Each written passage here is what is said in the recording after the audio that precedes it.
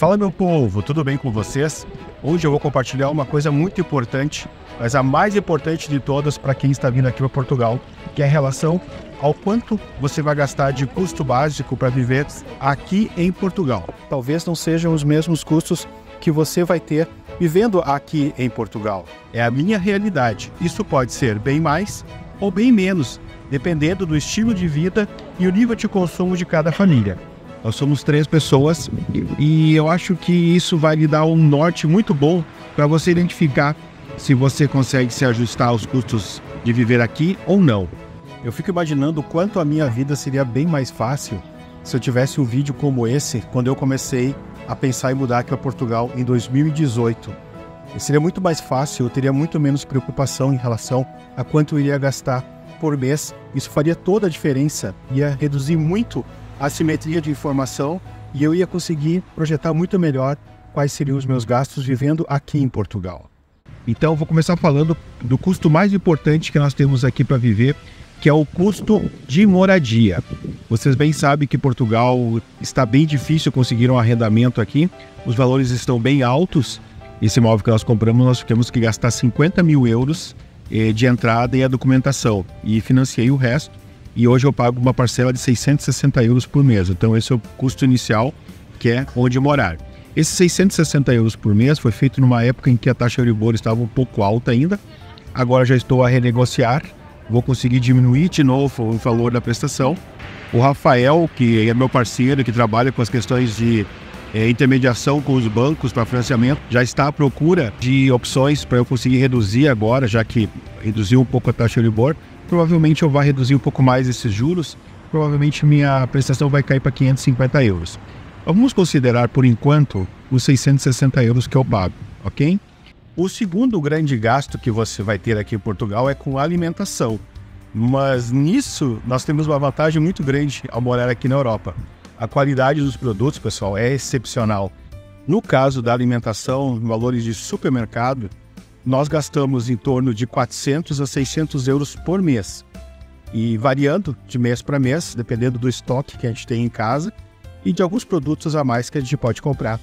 Por óbvio, esse valor pode ser bem menor do que isso. Eu já vi pessoas falando que conseguem fazer alimentação de supermercado gastando bem menos do que esse valor. Em relação a restaurantes e saídas, nós não gastamos tanto, tanto assim. Mas se você é uma pessoa que gosta de vez em quando sair, ir a um restaurante, uma pizzaria, ou tomar uma cerveja, alguma coisa assim, é, considere mais 50 a 100 euros por mês, umas duas ou três saídas por mês, para que você possa usar isso em restaurante. Para vocês terem uma ideia, esse último mês a gente gastou um pouco mais com restaurante, em torno de 130 euros, porque nós tivemos visitas de amigos nossos lá Espanha então nós saímos mais, fomos ao Porto, fomos ao restaurante mais vezes durante o mês passado. Então gastamos 130 euros em restaurantes. Aí teve também o aniversário da Denise, que a gente saiu e foi no restaurante de sushi, muito bom, que é 15 euros por pessoa. Então gastamos 50 euros só nessa saída. Vamos para o próximo item, que é um item que eu gasto um pouco mais aqui em Portugal, por uma questão de necessidade. É internet e telefones telemóveis, os celulares eu gasto em torno de 95 a 100 euros por mês com isso, porque eu tenho uma internet que ela é bastante, um pouco mais cara, eu pago uma internet e três, tele, e três telemóveis, para mim, para Denise e para Julia, e eu tenho um valor um pouco maior em relação ao telemóvel. Então, é um custo que, se você quiser e não tiver tanta necessidade, você consegue diminuir um pouco, porque você consegue planos de 40, 50 euros de internet. Se você quiser ter um telemóvel pré-pago, você consegue gastar 10, 15 euros por mês do telemóvel. Mas como nós somos três, então, considerando 10 a 15 euros para cada um, mais a internet, eu considero que 90, 95 euros não seja um valor tão absurdo assim. Por óbvio que você pode gastar menos se você quiser ou se você precisar. Um item que às vezes aqui em Portugal as pessoas acabam gastando um pouco mais é com energia. Energia, gás e água. Mas eu vou falar agora sobre energia elétrica. Eu basicamente uso energia elétrica para quase tudo, menos para aquecimento de água, aquecimento da água da cozinha e aquecimento da água do banheiro. Eu gasto, em média, 80 euros por mês de energia elétrica. Eu gasto um pouco menos que a maioria das pessoas, porque o nosso imóvel é bastante ensolarado. a gente praticamente não usa luzes durante o dia, usa poucas luzes durante a noite, mas em contrapartida eu também tenho a cave, onde eu uso o escritório, mas eu acho que é um valor bastante razoável, médio. No inverno a gente acaba gastando um pouco mais, a nossa maior conta acho que foi 150 euros, mas durante o verão às vezes a conta chega a estar em 40, 46 euros. Um gasto adicional que nós temos na parte de alimentação é com o talho. Eu compro às vezes algumas carnes no supermercado, mas a gente gosta de comprar carnes aqui no talho, que está próximo da nossa casa, por uma questão de qualidade e variedade de produtos que tem nesse talho, principalmente quando se refere à carne de gado, a carne de vaca aqui em Portugal. Então a gente gasta mais uns 70 euros eh, no talho. Outro gasto importante que nós temos é na piscina. Eu e a Denise, a gente frequenta o clube aqui da cidade e a gente tem acesso livre as piscinas, principalmente a piscina aquecida, porque a Denise tem muito problema com frio, então é muito importante para ela ter acesso à piscina aquecida. Então, tanto a piscina quanto ao ginásio, que é a academia, a gente paga 36 euros para cada um. Então temos 72 euros de despesa com piscina e academia. Outra despesa que tem a ver com educação e com saúde é a dança da Júlia. A gente paga 65 euros por mês para ela poder frequentar a escola de dança. E eu acho que esse é um investimento muito bom que nós estamos fazendo com ela, porque a, além de ela gostar muito, ela está se desenvolvendo muito na questão física, social e talvez, talvez no futuro até profissional, porque a dança é a área que ela adora e que ela quer seguir depois é, no futuro. Outro item importante para você colocar na tabela de despesas é o gasóleo. O carro que nós temos ele é a gasóleo e na média a gente gasta em torno de 50, 52 euros por mês com gasóleo. Isso considerando que na cidade a gente não usa tanto carro assim, mas a gente costuma fazer algumas viagens para a gente ir ao porto e a outras cidades. O seguro a gente paga 54 euros e esse seguro ele cobre o valor do financiamento do imóvel. Como você vê, estou fazendo uma lista por ordem decrescente pelos valores maiores para os menores chegou a vez do gás.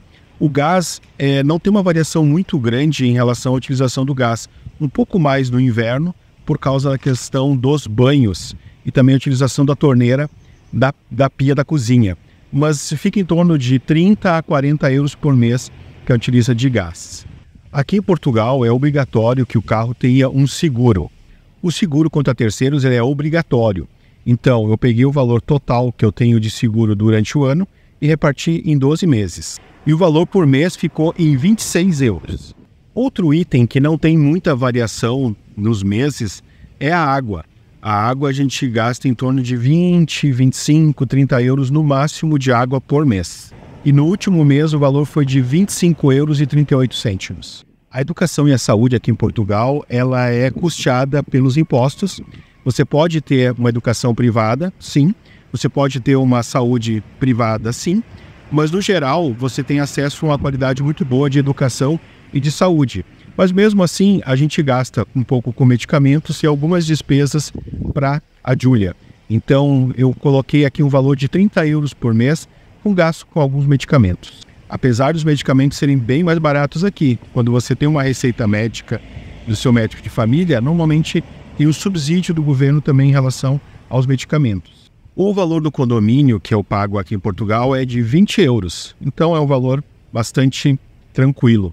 E a última despesa que eu tenho que é a contribuição social. Eu pago 20 euros por mês porque eu faço recibos verdes. Eu tenho, eu abri atividade aqui em Portugal, então depois que passar um ano você tem que pagar no mínimo 20 euros por mês. Então qual é o valor total de despesas básicas que eu tenho aqui em Portugal?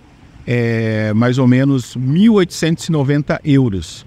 1.900 euros, mais ou menos 12 mil reais é o valor do gasto total que eu tenho aqui para três pessoas morando aqui em Portugal. Lógico, não morando em Lisboa e não morando no centro do Porto, mas também não moro numa aldeia, não moro num lugar totalmente afastado. Eu sei que você pode estar pensando que ainda existem muitas outras dificuldades, outras barreiras e muitas outras coisas que você precisa saber para conseguir mudar aqui para Portugal com segurança. E para isso, pessoal, eu resolvi compartilhar com vocês é, a minha experiência, os conhecimentos que eu consegui essa mudança aqui para Portugal. Isso é especialmente para quem vem para cá com visto D7. Eu compilei todas as informações da minha mudança em duas fontes. A primeira é um e-book que ele é muito acessível, ele é muito barato. E, inclusive, o e-book eu vou deixar disponível de graça para quem se tornar membro do canal. Sim, quem se tornar membro do canal, membro incentivador, vai ter acesso de graça ao e-book sobre o visto D7, como fazer uma mudança tranquila aqui para Portugal.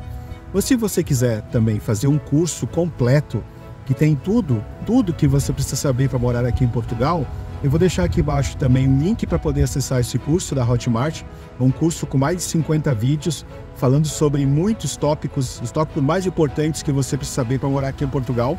E eu vou dar outro presente para você. Eu vou dar um cupom de 50% de desconto para quem assistiu esse vídeo até o final.